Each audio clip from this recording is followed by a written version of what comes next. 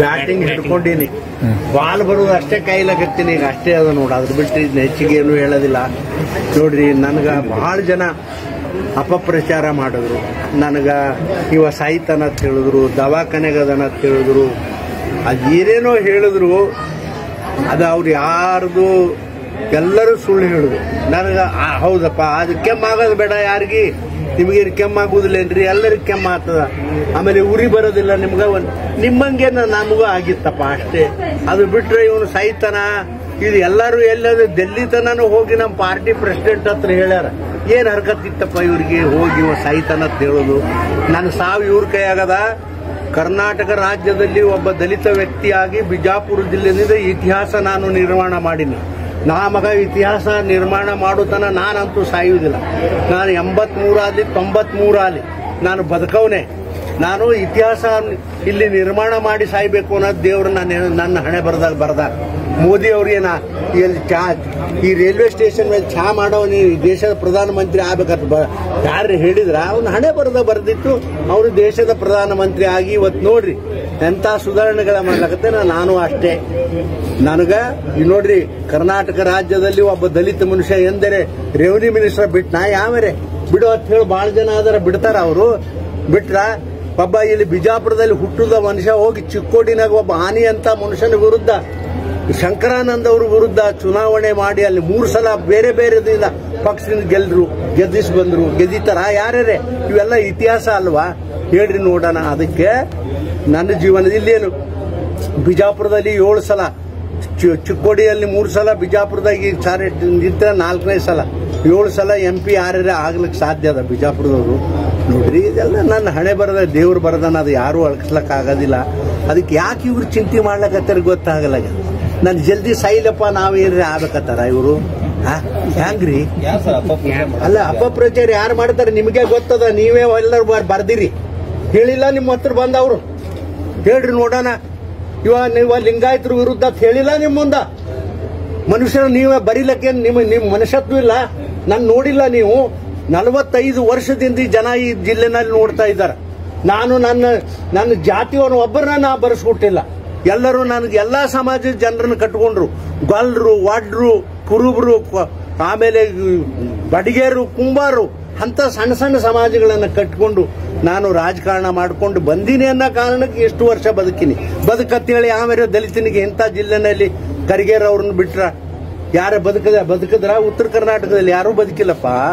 ಯಾರೂ ಬದುಕಿಲ್ಲ. ಆದ್ರೆ ನೋಡ್ರಿ ಇದು ಅಪ ಅಪಪ್ರಚಾರ ಮಾಡಬಾರ್ದು. ಯಾರಪ್ಪ ಹೇಳಿದ್ರು ನಿಮ್ಗ? ನೀವೇ ನೀವೇ ಪತ್ರಿಕೆಯಲ್ಲಿ ಟಿವಿನಲ್ಲಿ ಬರಲಿಲ್ಲ? ಆ? ಟಿವಿನಲ್ಲಿ ಬರಲಿಲ್ಲ, ನೀವೇ ತಾನೇ ಬರೆದಿದ್ದು. ಯಾಕೆ ಬರೆಯೋದಿಲ್ಲ ನಾವು ಅಂತ ಹೇಳ್ಬೇಕು. ಗೊತ್ತಿರಲಿಲ್ಲ ನಿಮಗ? ಅದಕ್ಕೆ ಇವೆಲ್ಲ ನೋಡ್ರಿ, ಯಾರ ಕೈಯಾಗೂ ಯಾರು ಆಗೋದು, ಯಾರ ಕೈಯಾಗೂ ಇಲ್ಲ. ದೇವ್ರು ಬರೆದಿರ್ತಾನ, ಅವ್ರು ಅವ್ರ ಹಣೆ ಬರದಿರ್ತದ, ಅವ್ರ ಹಣೆ ಬರದಾಗ ಹಾಕ್ತಾರ. ನಾನಂತೂ ನಕ್ಕಿ ಈ ಈ ಕರ್ನಾಟಕ ರಾಜ್ಯದಲ್ಲಿ ಇತಿಹಾಸ ಮಾಡು, ನಿರ್ಮಾಣ ಮಾಡೋ ತನ ನಾ ಸಾಯುವುದಿಲ್ಲ ಅನ್ನೋ ಮಾತು ಬಹಳ ಸ್ಪಷ್ಟವಾಗಿ ಹೇಳ್ತೀನಿ. ಇದ್ರ ಬಹಳ ಗಟ್ಟಿಯಾಗೇ ಹೇಳ್ತೀನಿ ಇದನ್ನು. ಯಾಕಂದ್ರೆ ಹೇಳಬೇಕಾಗ್ತಾ ಕೆಲವೊಂದು ಸಂದರ್ಭದಲ್ಲಿ.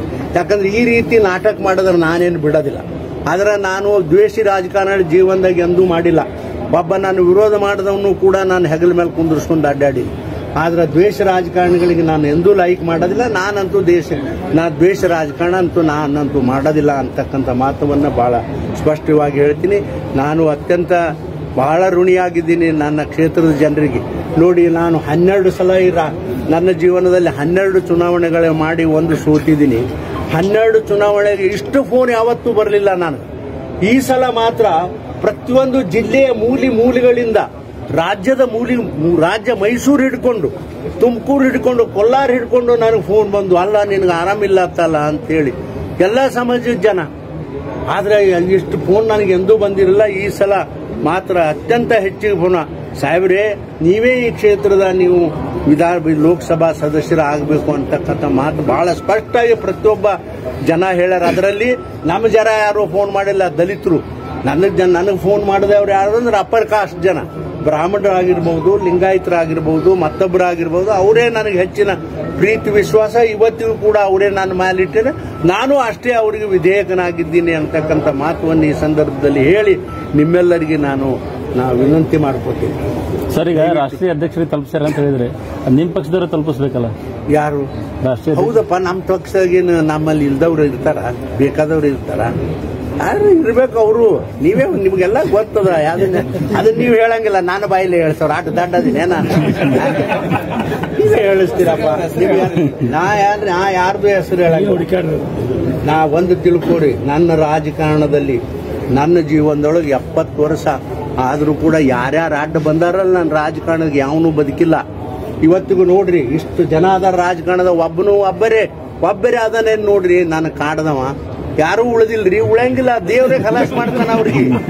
ನಾವ್ ಯಾರು ಮಾಡೋದು ಬೇಡ ದೇವ್ರೆ ಖಲಾಸ್ ಮಾಡ್ತಾನ. ಅದಕ್ಕೆ ದಯವಿಟ್ಟು ನೀವು ಒಂದ್ ಸ್ವಲ್ಪ ಎಲ್ಲ ಪತ್ರಿಕಾ ಬಂಧುಗಳಿರ್ತೀರಿ ನೀವು ಯೋಚನೆ ಮಾಡಿರಿ ಯಾರು ಹೆಂಗ್ ಅದರ ಏನು ಅದರ ಯೋಚನೆ ಮಾಡಿ ಬರಿಬೇಕು ಯಾವನೋ ತಿರುಗಿ ನನ್ನ ಮಗ ಬಂದು ಇವನು ಇವರು ಲಿಂಗಾಯತರು ವಿರೋಧಿ ಅಂತ ಹೇಳಿದ್ರೆ ನೀವು ಬಿಡುಗಡೆ ಮಾಡ್ತಿರಲ್ಲ ಇದು ಸರಿಯಲ್ಲ ಅಂತೇಳಿ ಈ ಸಂದರ್ಭ ಸರ್ ಟಿಕೆಟ್ ಯಾವಾಗ ಘೋಷಣೆ ಆಗುತ್ತೆ ಸರ್? ಘೋಷಣೆ ಯಾವಾಗ ಬಂದು ಟಿಕೆಟ್ ವಿಚಾರ ಯಾವಾಗ ಆಗ್ತದೋ ಏನಾಗ್ತದೋ ಗೊತ್ತಿಲ್ಲ.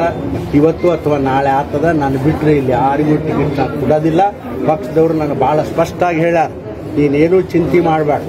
ನೀನೇನು ಚಿಂತೆ ಮಾಡಬೇಡ ಅದು ಏನಕ್ಕಾಗಲ್ಲಕ್ಕ ಜನ ನಿನ್ನ ಸತ್ರ ನಿನ್ನ ಹಣಕ್ಕೆ ಕೂಟ ಹಾಕಲಿ ಅನ್ನೋ ಮಾತು ಕೂಡ ಹೇಳ ಇಷ್ಟು ಸ್ಪಷ್ಟವಾಗಿ ಹೇಳ ಯಾರು ಹೇಳ್ತಾರ? ಬರ್ರಿ ನಡ್ರಿ ಸರ್, ಸರ್. ಟೀಕಾಕಾರರು ಮ- ಪ್ರಧಾನಮಂತ್ರಿಗಳ ವಿರುದ್ಧ ಟೀಕಾಕಾರರು ಎಷ್ಟು ಜನ ಅದಾರ ನೀವೇ ನೋಡಿದಿರಿ ಏನೇನಾಗ್ಯದ ಅದೇನು ಅವ್- ಅವ್ರ ಸಲಹೆ ಮಾಡಿದ್ರ? ಅವ್ರಿಗೆ ಉಪಯೋಗ ಅಲ್ಲಿ ಈ ಜಿಲ್ಲೆನಲ್ಲಿ ಲಿಂಬೆ ದಾಳಿಂಬ ಆಮೇಲೆ ಹಣ್ಣ, ದ್ರಾಕ್ಷಿ ಬೆಳಿತಾರ ಇಲ್ಲಿ ಅನ್ನೋ ಕಾರಣಕ್ಕ ಪ್ರತಿ ಅವ್ರು ಯಾವ್ಯಾವ ಕ್ಷೇ- ಯಾವ್ಯಾವ ಟೈಮ್ದಾಗ ಏನೇನು ಬೆಳಿತಾರ ಅವರು ಈ ನಮ್ಮ ಒಂದು ಸ್ಟಾಲ್ ಇಟ್ಕೊಂಡು ಇಲ್ಲಿ ಮಾರಲಿ ಅನ್ನೋ ಉದ್ದೇಶ ಒಳ್ಳೆ ಉದ್ದೇಶ ಇಟ್ಕೊಂಡು ಮಾಡಿದ್ರೆ ಅದ್ರ ಜೊತೆ ಒಬ್ಬನಿಗೆ ಅಥವಾ ಇಬ್ಬರಿಗೆ ಕೆಲ ಕೆಲಸ ಸಿಗ್ತದೆ. ಜನರಿಗೆ ಅವ್ರಿಗೆ ಅನುಕೂಲ ಆಗ್ತದೆ. ಬಿಜಾಪುರದಾಗ ಅಲ್ಲಿ ಇಲ್ಲಿ ಸ್ಟೇಷನ್ದಾಗ ರೈಲ್ವೆ ಬಂದಾಗ ಓಡ್ ಹೋಗಿ ಸ್ಟೇಷನ್ ಇದು ಗಾಂಧಿ ಚೌಕ್ ಹೋಗಿ ಇದು ತರ್ಲಕ್ ಆಗೋದಿಲ್ಲ ದ್ರಾಕ್ಷಿ. ಅಂಥದ್ದು ಎಲ್ಲ ಇಲ್ಲಿ ವ್ಯವಸ್ಥೆ ಸಿಗಲಿ ಅನ್ನೋ ಉದ್ದೇಶಕ್ಕಾಗಿ ಮಾಡ್ಯಾರಪ್ಪ. ನಮಸ್ಕಾರ ಎಲ್ಲರಿಗೂ. ನೋಡ್ರಿ, ನಮಸ್ಕಾರ. ಎಲ್ಲರಿಗೂ ನಮಸ್ಕಾರ.